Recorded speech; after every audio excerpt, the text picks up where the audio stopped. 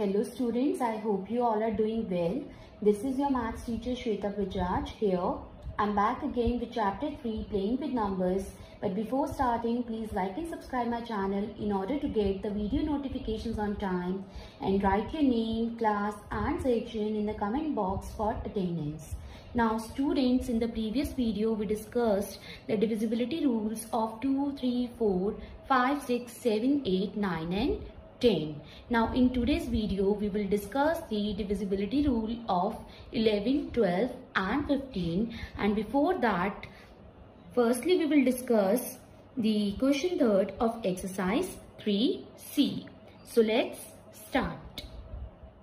Now question number 3 of exercise 3C says that which of the following numbers are divisible by 2, 4 and 8 and I have taken the first part and the first part is 2146. So first of all students I will check the divisibility by 2.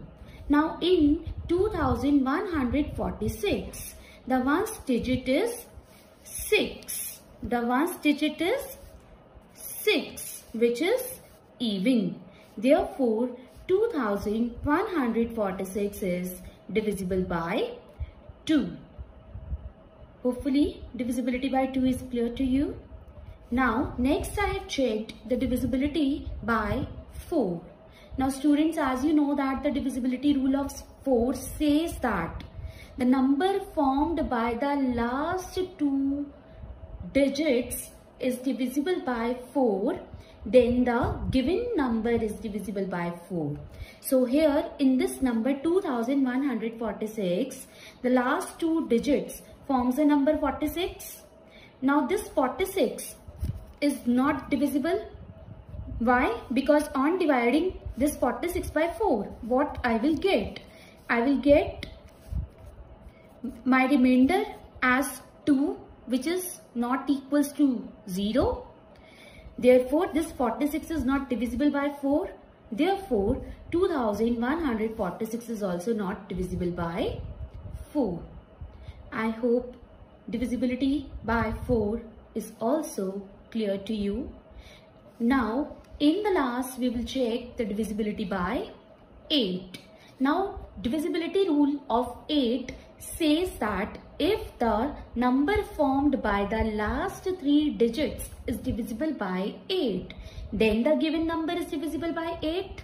Now here in this 2146, the last three digits of the number is number is 146. Now this 146, we will divide this by 8 and on dividing this by 8, this uh, 8 8s are 64. I'm not getting my remainder as 0. I'm getting the remainder as 2. That means this 146 is not divisible by 8. Therefore, this 2146 is also not divisible by 8. Hence, 2146 is divisible by 2 only, but not by 4 and 8. Hopefully, first part is clear to you. Now, next I have taken is the fourth part in fourth part, the number given to us is 1768. So first of all, we will check its divisibility by 2. Now students, in this 1768, the ones digit is 8 which is even. Therefore, 1768 is divisible by 2. Hopefully, it is clear to you. Now, next we will check its divisibility by 4. Now here in this 1768, the last two digits forms 68. Now we will check its divisibility by 4 firstly. We will divide the 68 by 4. Now on dividing the 68 by 4, I will get my remainder as 0 that means the 68 is divisible by 4. Therefore, 1768 is divisible by 4. Hopefully this is also clear to you. Now in the last we will check its divisibility by 8. Now here in this 1768 the last three digits forms the number 768. Now we will divide this number by 8 and check its divisibility. Now on dividing this by what we will get 8 nines are 72 and on subtracting and on carrying this 48 now 8 6 are 48 we will get a remainder as 0 so that means this 768 is divisible by 8 therefore 1768 is also divisible by 8 so 1768 is divisible by 2 4 and 8 Hopefully this question is clear to you. Now let's discuss the remaining divisibility rules. And the first is divisibility by 11. This rule says that if the difference between the sum of the digits in the odd places and in the even places is either 0 or divisible by 11 then the number is divisible by 11. See I have taken one example and the example in the example I have taken the number 264.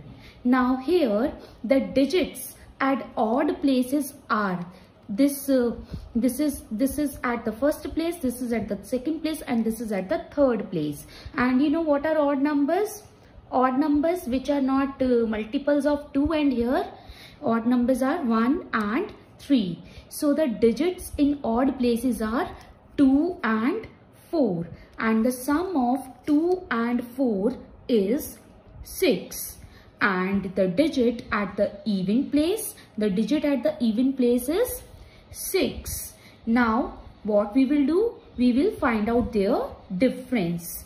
And difference means we will subtract them. And on subtracting 6 minus 6 what we will get? We will get 0 therefore 264 is divisible by 11 hopefully it is clear to you. I have taken one more example. Let's see. In second example, I have taken the number 2815.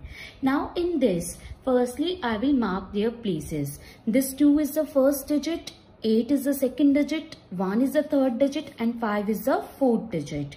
So the digits in odd places are 2 and 1 and the digits at even places are 8 and 5. Now, the sum of the digits in odd places is equals to 2 plus 1 that is equals to 3 and the sum of the digits in even places is equals to 8 plus 5 is equals to 13 and their difference will be equals to 13 minus 3 which is equals to 10 and this 10 is neither equals to 0 nor is a multiple of 11. Therefore, it is not divisible by 11. Therefore, this 2815 is also not divisible by 11. Hopefully, this example is clear to you. Next is divisibility by 12. This rule says that if the number is divisible by both 3 and 4. Then it is divisible by 12. For example, I have taken the number 120. Now, you know that the divisibility rule of 3 says that the sum of, if the sum of the digits is divisible by 3, then it is divisible by 3. So here I am checking the divisibility rule of 3 firstly.